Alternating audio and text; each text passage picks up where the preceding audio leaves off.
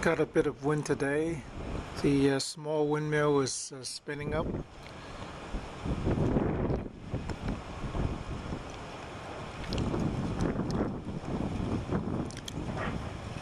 For a while I was trying to uh, determine the actual output of the windmill. Uh, unloaded it gave me a lot of volts, uh, open voltage. Uh, loaded the milliamps only and um, not that much in output.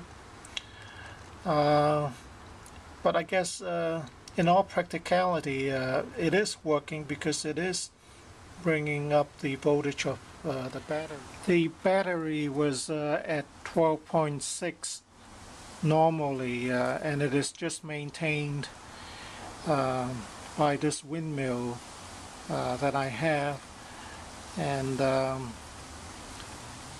so far it is maintaining the battery and even uh, giving it a good charge uh, when I have good wind.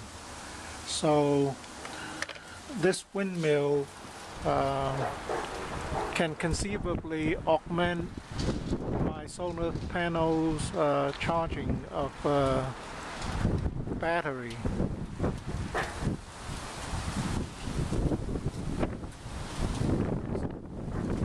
Right now it's going at a good clip. It's gone at least uh, 60 to 80 RPM. When it's uh, 80 to 100 RPM, it, it, will be charging. This is probably 100 RPM, and it's under load, so uh, it's not gonna, you know, uh, run too fast and uh, fall apart.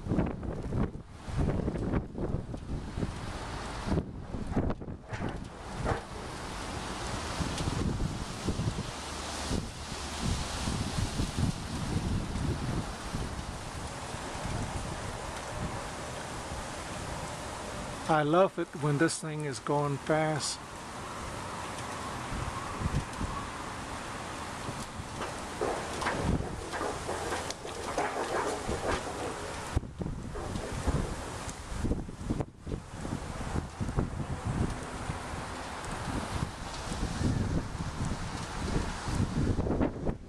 This is a uh, six coil, uh, two magnet plates. Uh, the stator is very thin gauge with uh, 27 gauge wires.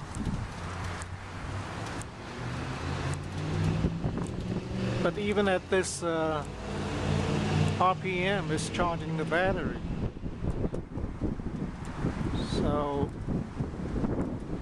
it is kind of working.